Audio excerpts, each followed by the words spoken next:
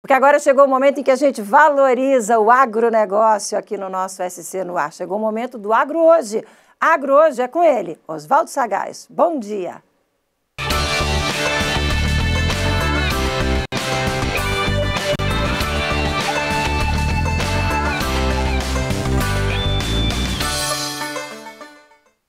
Olá, muito bom dia para você ligadinho aqui no Santa Catarina no ar hora de destacar mais um assunto do agronegócio. E Santa Catarina está estudando uma espécie de nova rota do milho para importação do grão. A ideia é discutir métodos para trazer o milho do Paraguai com incentivos e também mais facilidades. O assunto, inclusive, foi discutido em uma reunião com a presença de representantes do governo estadual. Olha só.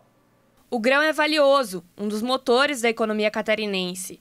Aves, suínos, produção de leite, Toda a cadeia produtiva que move o agronegócio do estado depende do fornecimento dele, o milho.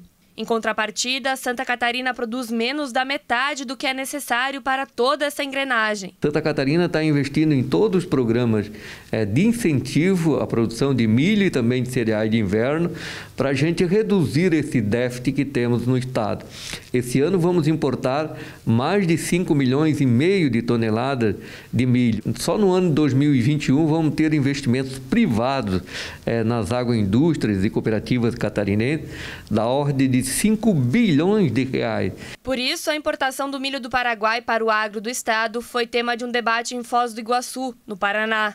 O grupo, integrado pelo secretário de Agricultura de Santa Catarina, Altair Silva, representantes da FECOAGRO e também o presidente da Aurora Alimentos, debateu os trâmites necessários para importações de milho do país vizinho, além das alternativas tributárias existentes. Nos reunimos lá com é, fornecedores é, de milho que já a, gente negocia há alguns anos, né? Para desenhar os cenários para o próximo ano, para o futuro.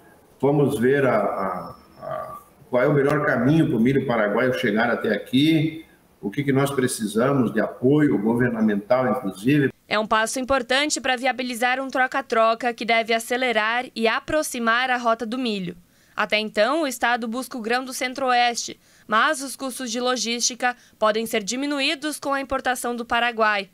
Assim, empresas como a Aurora Alimentos garantem a compra do milho em troca da oferta de adubo e fertilizantes feita pelo governo estadual aos produtores do país vizinho. Esse é um grande ganho para Santa Catarina, é uma relação comercial que se aproxima e que vai dar é, totais condições para que é, Santa Catarina não precise importar milho de outros continentes.